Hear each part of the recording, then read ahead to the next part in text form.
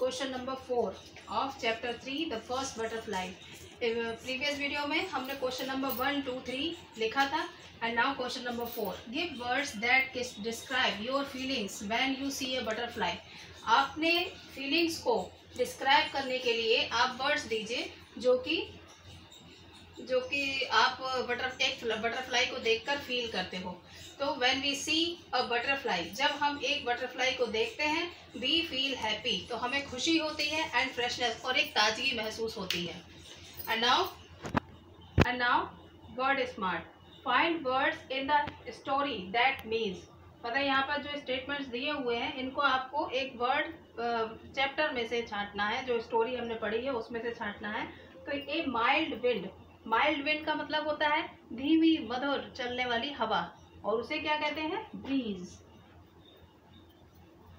B R double E Z E breeze.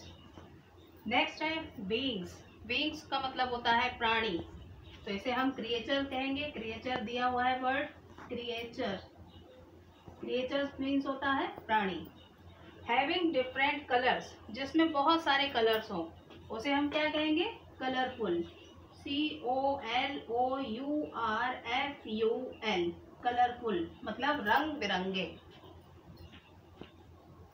Number four a movement of wing movement of wing butterfly या जो insects होते हैं उनके जो विंग्स होते हैं पंख होते हैं तो उनका आपको एक मूवमेंट बताना है। और इस स्टोरी में उनका एक मूवमेंट का नेम दिया हुआ है और वो है flutter फड़फड़ाना।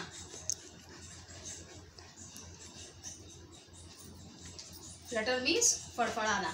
And now your homework, you have to learn the bird meanings of chapter 3. Learn word meanings of chapter 3. Thank you.